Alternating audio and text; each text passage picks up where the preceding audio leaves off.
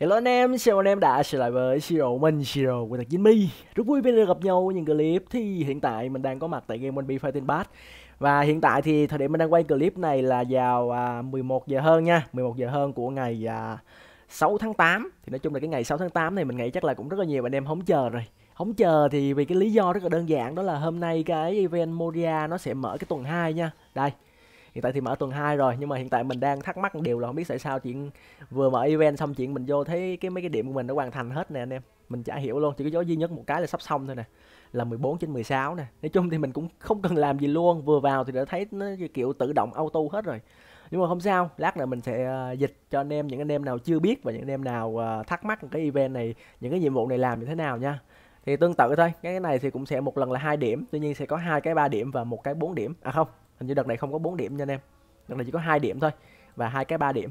Rồi thì lát mình làm cho anh em xem. Mình định là sẽ dùng sẽ dịch rồi sau đó mình hướng dẫn anh em từng cái luôn nhưng mà tự nhiên nó tự động hoàn thành luôn cho nên mình không biết nữa. Chắc là những cái việc mà anh em làm ở cái từ trước thì nó cũng cộng dồn vô luôn nên cũng rất là ngon nha. Hiện tại thì mà đang ở map uh, thì là bát đây. Nói chung là map thì là bát cập nhật mới rồi cho nên mình cũng uh, ở một cái map mới luôn cho nó hấp dẫn. Hiện tại thì có con zombie đang uh, tháo cái đầu nó ra nè anh em ơi. Người nó đang rất là run không hiểu lý do gì nhưng mà kiểu uh, tư thế của xác sống chứ rồi rớt cái đầu luôn. Vãi lên rớt cái đầu xong lụm lại gõ gõ xong lắp lại ghê quá. Rồi chúc em ngày vui vẻ và xem clip nhớ like subscribe để cái kênh ủng hộ cho mình nha. À, hôm nay là một ngày rất là đặc biệt vì có nhiều thêm nhiều event mới thì mình sẽ giới thiệu từng event cho anh em xem. Đầu tiên là cái vòng quay của NL 80% như mình nói ở clip ngày hôm qua. Thì đây đây hình dạng nói chung là rất là giống uh, hôm qua mình review luôn nha đấy mình uh, review lại clip của kênh uh, Asian Asian á thì cái hình ảnh y chang vậy luôn. Đây là cái vòng quay uh, NL 80% thì uh, mình đã nói lý do hôm qua rồi mình đã giải thích rất là rõ ràng cho anh em rồi. Thì riêng thằng NL thì sẽ được 80% còn những cái đứa khác thì vẫn vậy thôi. Tất nhiên là anh em quay thì uh, khả năng uh, ra những con tướng khác thì cũng sẽ rất là có 20% còn riêng NL là 80% cho nên là anh em cứ tự tin. Những bạn nào mà muốn có NL chưa có NL thì anh em cứ tự tin quay đi nếu mà anh em nhiều vé. Còn nếu mà anh em ít vé thì mình nghĩ anh em nên tích để chừa cho cái event uh, Euro Asura. Theo thông tin thì hiện tại thì ờ, theo thông tin thì mình biết thì ngày 20 tháng 8 thì sẽ ra Euro Asura nha. Đấy cho nên là anh em nếu mà ít vé thì em tích đi. Rồi ok hiện tại đây có 6 con ờ, uh, SS ừ, 6 con. Hiện tại là có 6 con tính luôn Moria là 7 nha. Rồi thêm Senji nữa tính là luôn là 8 tổng cộng là 8 con. Moria với Senji thì nó nằm trong uh, event miễn phí. Cho nên là nó không có tính vô cái vòng quay này nha ngoài ra thì để mình xuống cái tướng B có thử coi đã cập nhật thêm ba tướng B mới chưa nha. Đây là tướng A nè. Đây là tướng B. Ui, hiện tại vẫn chưa cập nhật nha anh em. Ở đây mình thấy là chưa có cập nhật tướng B mới này.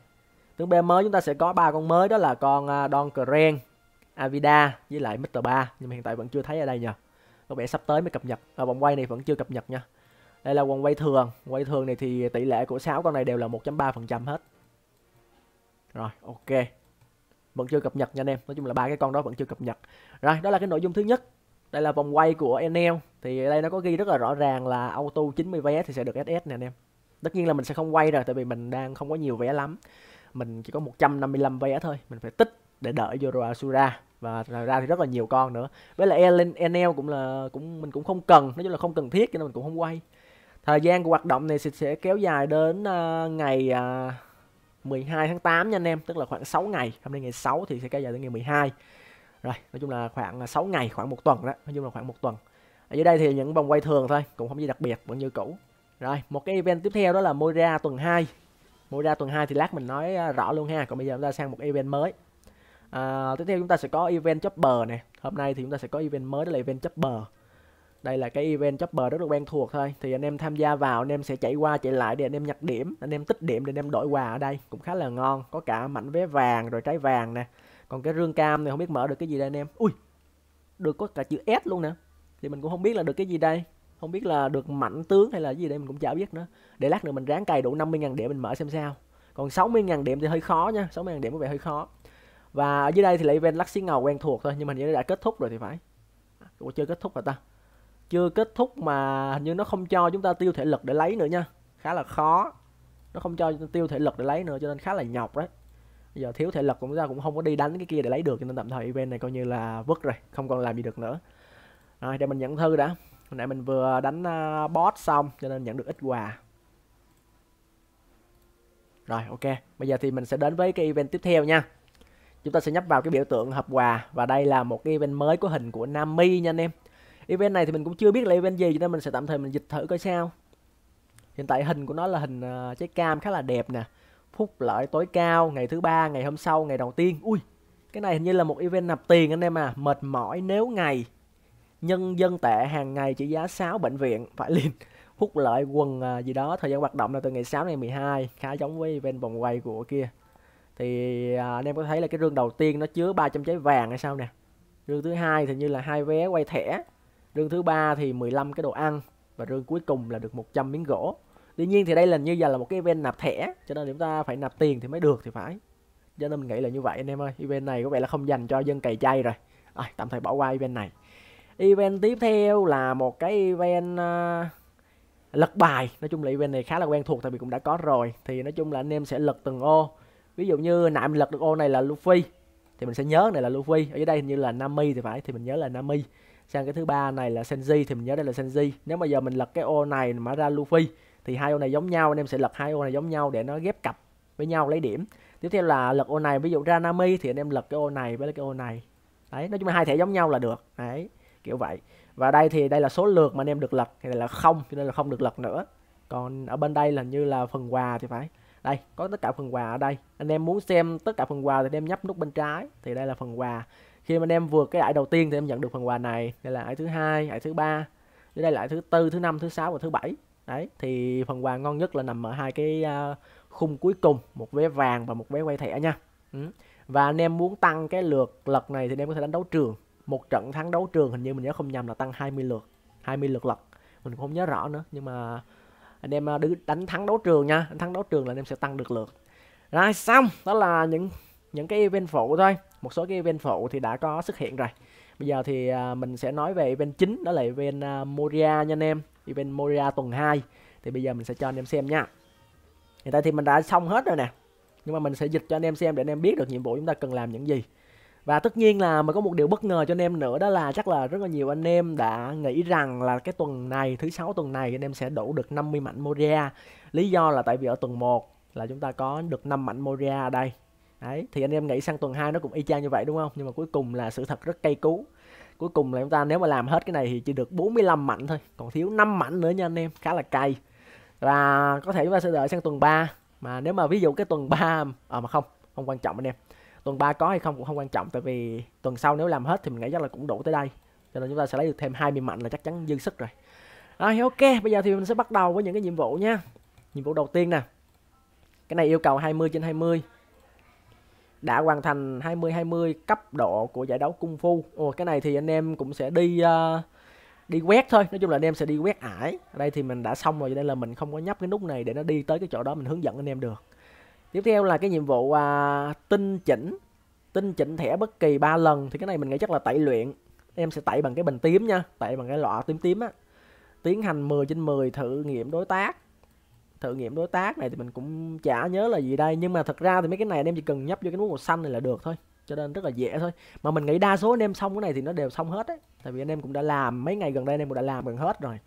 Ok tiếp theo nào. Rồi thì mình à, tới nhiệm vụ tiếp theo có nhiệm vụ nào khó khó thì mình chỉ cho anh em còn mấy nhiệm vụ này dễ à. Anh em chỉ cần nhấn cái nút màu xanh là hướng dẫn thôi. Thực hiện 6 trên 6 thử thách dũng cảm. Thử thách dũng cảm hả? Mình cũng chả nhớ thử dùng cảm là gì nữa. Rồi hoàn thành tổng cộng à, 12 đến 15 lần nấu. Cái này chắc là nấu ăn. Nấu ăn mình nghĩ chắc là nấu ăn. Hoàn thành 6 đến 6 lần khi chạm chán tuyết. Chạm trán tuyết là gì trời? Bây giờ nó nó nó xong rồi cho nên là mình không có hướng dẫn anh em được đây. Mình chỉ có thể dịch sang cho anh em hiểu thôi. Nhưng mà dịch sang thì cũng chả hiểu gì luôn. Ui phần quà có được trăm trái vàng cũng ngon nè. Nhiệm vụ phái được hoàn thành tiêu hao tích lũy thể lực. À đây là tiêu thể lực. 20 nhiệm vụ hàng ngày. À, làm nhiệm vụ hàng ngày là xong thôi rồi còn cái cuối này chưa xong nè. Để mình dịch coi là gì. Giết 10 trên 16 nhân vật trong đấu trường. À cái này là trong đấu trường anh em ơi. Thì nói chung là anh em đi đấu trường anh em à, đánh bại người ta thôi. Và cái nhiệm vụ này đặc biệt cái nhiệm vụ này là anh em chỉ cần à, đánh bại à, tức là mỗi trận đấu trường thì anh em sẽ được mang ba tướng đúng không? Đấy thì anh em chỉ cần à, giết được một. Ví dụ anh em trận đó anh em thua nhưng mà anh em giết được một đứa thì cái một đứa đó cũng sẽ cộng dồn vô đây nha. Tức là anh em sẽ lên được 15 đấy mà nếu game đó anh em giết được hai người trong ba thì anh em sẽ xong cái nhiệm vụ này. Khá là đơn giản thôi. Đó. Mà cái này mình cũng không cái này nó không yêu cầu là ranh đúng không? Không yêu cầu là ranh thì cho nên hình như mình nghĩ là không cần ranh bây giờ mình sẽ làm cái này. À không, trước tiên mình sẽ nhận hết cái nhiệm vụ này đã. Quá ngon anh em ơi. Mình cũng chả biết thế nào nữa nhưng mà tự nhiên vô cái nó xong luôn.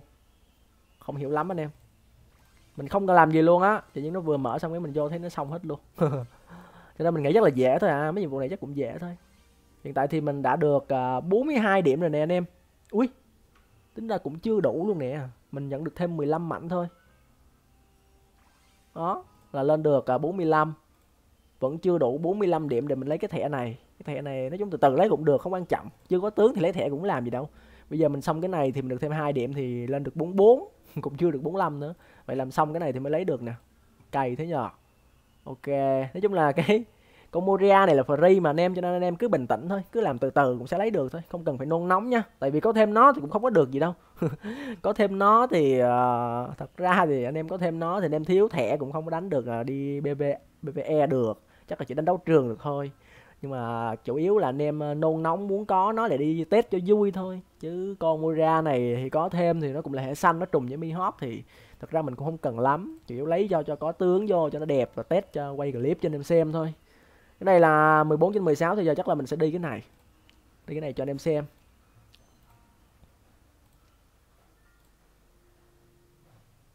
Ok mình lên được vé vàng này. Vậy lên được tấm bản đồ. Ok, đang thích bản đồ anh em ơi. Khi nào đủ 18 mình đi đào tiếp cho anh em xem ha. Bây giờ chắc là mình sẽ đi đấu trường để xong cái nhiệm vụ này luôn. Phần quà của cái này là được 5 mạnh của tướng S thì thật ra cũng không ngon lắm. Mình lười làm quá, nhưng mà giờ 14 trên 16 rồi thì còn có hai đứa nữa thôi, cho nên chắc mình làm vô tình chị ở đâu ở đây có con chim bay qua trời. Khó hiểu thiệt lâu lâu có con chim bay qua anh em. Rồi có tờ báo rồi sau khi anh em đọc cái tờ báo xong thì cũng chả có tác dụng gì luôn. Rồi vô lại nè. Đấy những cái nhiệm vụ mà anh em chưa xong á thì anh em nhấp nhấp cho cái nút màu xanh này là nó sẽ tự động nó nó dẫn anh em tới cái chỗ đó thôi cho nên rất là đơn giản. Bây giờ mình sẽ đánh ở cái chế độ này. Ui mình có 950 luôn á. 950 thì mình có thể mua ui gần gần gần mua được à, gần mua được à, hai cái luôn nè ui để mình để mình cố gắng cày thêm 50 điểm nữa để mình à, lấy được cái kia. Bây giờ mình sẽ vô để mình đánh trận ở đây nha. Đây cái cúp này là leo ranh nè anh em còn này là đánh với bạn bè mời anh em solo còn cái này là chế độ gọi là kiểu ngẫu nhiên thì mình sẽ đánh ở chế độ ngẫu nhiên. Ok. Tại vì cái nhiệm vụ đó nó không có ghi rõ là yêu cầu à, đánh ranh cho nên mình nghĩ chắc là cũng dễ thôi. Mình gặp bạn đi pool này đi pool của server một ngàn à, mấy đó chả thấy nữa. Lâu lắm rồi mới quay lại đấu trường nha anh em like à, mạnh subscribe mạnh ủng hộ cho mình chiến thắng à, bạn này coi. À, không cần chiến thắng cũng được nữa. Nói chung là chỉ cần đánh hai người giết hai người là ok rồi. Đội hình của bạn ấy thì có A, Mihawk và Crocodile. Nói chung là cũng 3 SS nói chung là bây giờ thì đa số đều có SS hết rồi cho nên là chỉ có những bạn nào mà cày những con tướng S ghê ghê thì mới đem vô đây thôi. Còn lại thì đều mang SS rồi let's go. Ui sao lắc thế? Hơi lắc anh em ơi mình di chuyển nhân vật không được rồi ui rồi bình 500 phải lên. Ui rồi bình 500 sao chơi? Rồi lắc luôn rồi. Anh em thấy lắc ghê không? Ui rồi ôi, đánh đấm như tầm này nữa anh em. Thế này làm sao giết được hai người? Sợ một người cũng không được nữa. Quá. Rồi đơ luôn. Tuyệt vời, tuyệt vời, tuyệt vời.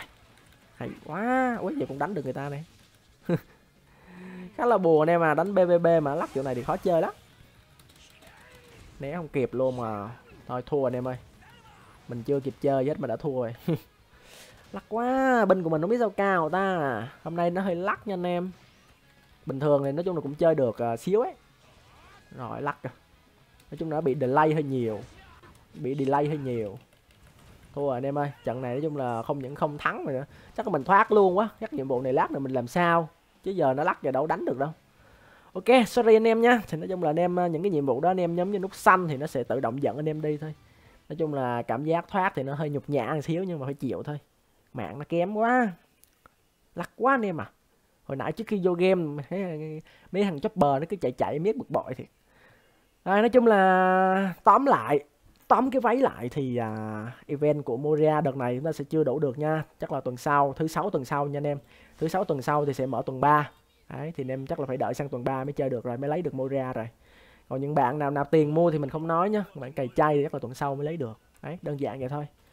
Rồi cũng không còn gì review nữa nha nhưng mà hôm nay thì event cũng chỉ đơn giản thôi. Đặc biệt có cái event Enel thì anh em nào muốn có Enel thì anh em quay thôi. Mình đang uh, phân vân một cái vấn đề đây. Đang phân vân một cái vấn đề đây. Đó là cái vòng quay thẻ liên quan tới vòng quay thẻ. Thì đây là vòng quay thẻ thường vòng quay thẻ thì sẽ có hai cái loại vòng quay đó là vòng quay thẻ thường và vòng quay thẻ của tướng. Ví dụ như ít bữa ra Yoro Asura thì chắc là cũng sẽ tương tự sẽ có một cái vòng quay thẻ dành riêng cho Yoro Asura thì anh em quay đó thì anh em sẽ được thẻ 4 và thẻ 5 đấy nó sẽ ưu tiên là thẻ 4 và thẻ 5 rất là nhiều. Còn riêng cái vòng quay thường này thì nó sẽ ưu tiên ra những cái thẻ 1 2 3 nha anh em. Đây mình vô mình xe cho anh em xem nè. Ừ. thì mình đang uh, suy nghĩ tới một cái vấn đề đây. Đó là cái thẻ 4 thẻ 5 á thì khi hết event thì nó sẽ được bán ở trong shop. Cho nên thật ra nếu mà anh em không quay trong vòng quay thẻ thì anh em vẫn có khả năng sở hữu được. Chỉ cần cày điểm thôi. Anh em chỉ cần cày điểm anh em thể mua được trong shop nha. Ui, mạng chán quá anh em ơi. Đấy còn cái riêng cái vòng quay thẻ thường này á thì nó sẽ được uh, thẻ 123 cho nên mình đang suy nghĩ về một cái vấn đề đó là hồi trước mình nhớ không nhầm là ở cái vòng quay uh, vòng quay Kuzan đúng không ta? Vòng quay Kuzan thì tôi sẽ sao á? Thì mình đã tiêu 100 mình nhớ không nhầm là mình tiêu 100 cái vé quay thẻ. Và tất nhiên là cũng chỉ toàn là được thẻ 4 năm thôi, chứ không phải được thẻ 123 nha. Đấy. Thì mình đang suy nghĩ một điều là bây giờ chắc là mình sẽ không tiêu để mình quay cái vòng quay thẻ 4 năm nữa, mà mình sẽ để dành những cái thẻ vé quay này để mình quay ở cái vòng quay thường này để mình lấy thẻ 123 lý do là tại vì thẻ 123 của mình thì nó đang không có được nâng cấp không có được nâng level gì hết. Cho nên nếu mà mình quay ra những cái thẻ tương ứng á, thì mình thể nâng cấp được. Còn nếu mà anh em quay ở vòng quay thẻ 4 năm thì nó chỉ ra thẻ 4 năm là cao thôi. Tất nhiên nó cũng sẽ có khả năng ra được thẻ 123 nhưng mà xác suất rất là thấp phần trăm rất là thấp. Nó ưu tiên thẻ 4 năm rất là nhiều. Đấy thành ra mình đang suy nghĩ là mình nghĩ mình sẽ để dành vé để mình quay cái uh, vòng quay thường này để lấy thẻ 123 tại vì những cái thẻ 123 của mình thì uh, mình chưa có nâng cấp mình chỉ mới nâng lên level 35 rồi mình vứt đó thôi à còn thẻ 4 năm á, thì anh em khi mà event của vòng quay đó hết á, thì nó vẫn có thể bán trong shop. 500 điểm uh, của bot bot tuần là anh em được một thẻ. Thì một tuần thì tệ lắm thì chắc chắn nếu anh em đánh có hạn thì anh em cũng sẽ được 600 cho nên anh em dư được một thẻ này còn bên cái thẻ 5 á thẻ 4 đó là thẻ 4 còn thẻ 5 thì anh em sẽ đi Ember Down đi Ember Down thì 5 ngàn 5 ngàn điểm mà hình như là 5 ngàn điểm đôi cánh gì đó thì sẽ được một thẻ 5 đấy thì nói chung là một tuần thì anh em cũng sẽ đi được uh, gần một thẻ nếu mà anh em đánh nếu mà anh em đang uh, ít đánh. Thì uh, đánh hết xong có khi là cũng thể gần được có khi là được luôn được một thẻ. Còn nếu mà anh em đánh nhiều á thì anh em sẽ được hơn một thẻ khi là gần hai thẻ hai thẻ luôn. Đấy.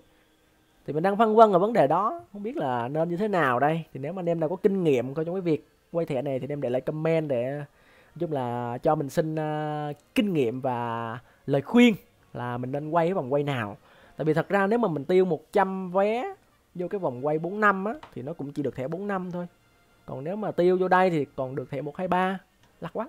Mình không không có ra được cho anh em xem thẻ 123 của mình luôn. Nó lắc vãi lên luôn anh em. Mạng nói chung là hơi chán một xíu dịch bệnh rồi mà thêm mạng yếu nên không biết chơi bời sao luôn. Cũng may là nãy giờ đã quay xong clip rồi. Ở được rồi chắc là mình sẽ kết thúc clip tại đây. Cảm ơn em đã theo dõi clip mình. Nhớ like subscribe đăng ký kênh để ủng hộ cho mình nha. Giúp là hôm nay ngày 6 tháng 8 thì có thêm một số event mới như vậy thôi. Nhìn chung thì cũng không có gì, event gì đặc biệt lắm. Hy vọng là tới ngày à, 20 Yora Yoro Asura thì sẽ có nhiều thứ hay hơn. Hy vọng là vậy. À, mình cũng chưa kịp coi map nữa. Không biết là có cập nhật thêm map mới hay không? Không thoát là được luôn mà anh em. Chopper này nó cứ chạy miết à. À, chắc là bye bye anh em thôi. Mạng thế này thì cũng thua rồi. Cảm ơn em rất nhiều đã theo dõi clip mình nha. Nhớ like subscribe nha anh em. Bye bye.